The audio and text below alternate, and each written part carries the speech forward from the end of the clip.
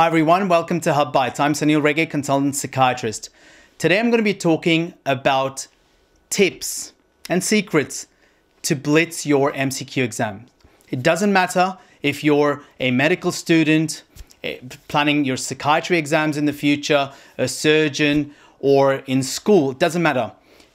For your MCQ exams, best of five or extended matching questions, these tips will really help you succeed. Now, my personal experience with MCQ exams, you might ask. I've done loads of MCQ exams over the years, not only in school, but then for medicine when I had to move from uh, Dubai to India, entrance exams, then from India doing my PLAB to the UK, then from the UK to Australia, again, loads of MCQ exams. And now I teach MCQs and EMQ strategies through psychscene.com. So, what are the key things that you've got to know to blitz your MCQ exams? Firstly, when you're studying, it's important to recognize that all the new information that you're bringing in is going into your is sort of the prefrontal cortex. The frontal lobe's working really hard, right? And it's your working memory. And working memory is really short, right? Seven plus or minus two items only. What you've got to do is to start moving that information that's there in your working memory right at the back to the long term memory, which is in your hippocampus. And in that long term memory, you've got the implicit memory and the explicit memory. Now, forget about the implicit memory, that's in your OSCE, in your procedural aspects going to talk about the explicit memory. The explicit memory is the declarative memory, and that is your MCQ, your EMQs, extended matching questions. So in the exam, when you have to think about something, you're going to have to pull it out of your hippocampus, the declarative memory, which is your semantics, meaning, words, etc. Now remember, if you want to push information from your working memory to your hippocampus, rehearse, repeat and try to connect it to clinical experience or your real life experience. So look around and try to make connections and you'll remember things really well. Now let's look at two key things you've got to know specifically while preparing for the MCQs. One is pattern and word recognition. So your focus when you're studying is on word recognition and pattern recognition. These are buzzwords that you got to look at. So whenever you're reading a question, there is going to be specificity, specific words that will then prompt your brain to bring out that association.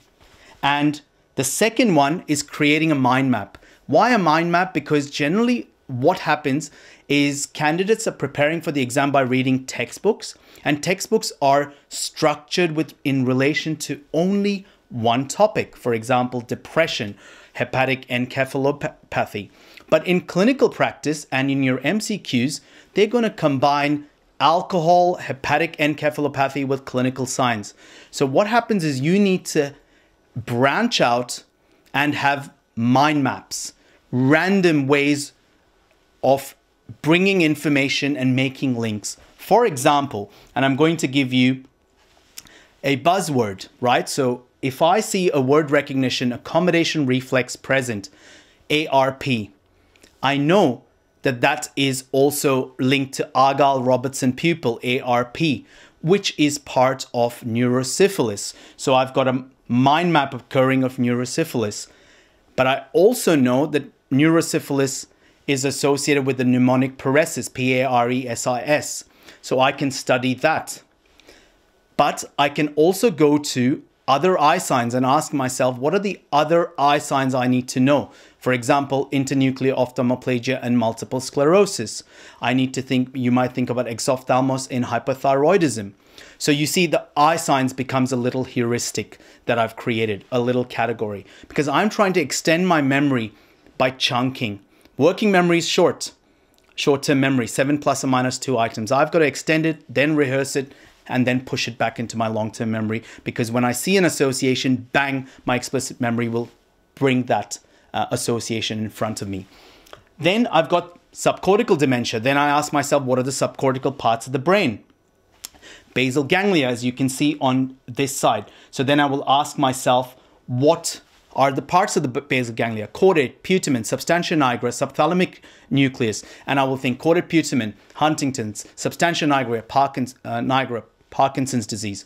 So you see I'm making connections all the time because I'm creating clusters of buzzwords together. That's the pattern and word recognition.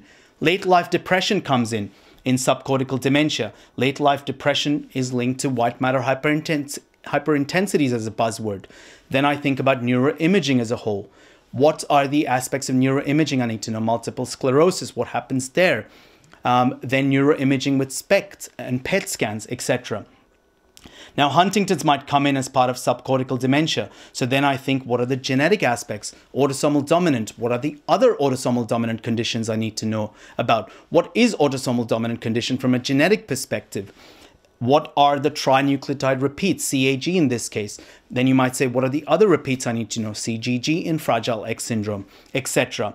Syphilis, CSF VDRL as a test of fluorescent treponemal antibodies um, test, but CSF. Then I ask myself, what are the other CSF aspects I need to know? Maybe oligoclonal bands in um, oligoclonal bands in um, multiple sclerosis or CSF1433 protein in Creutzfeldt-Jakob disease.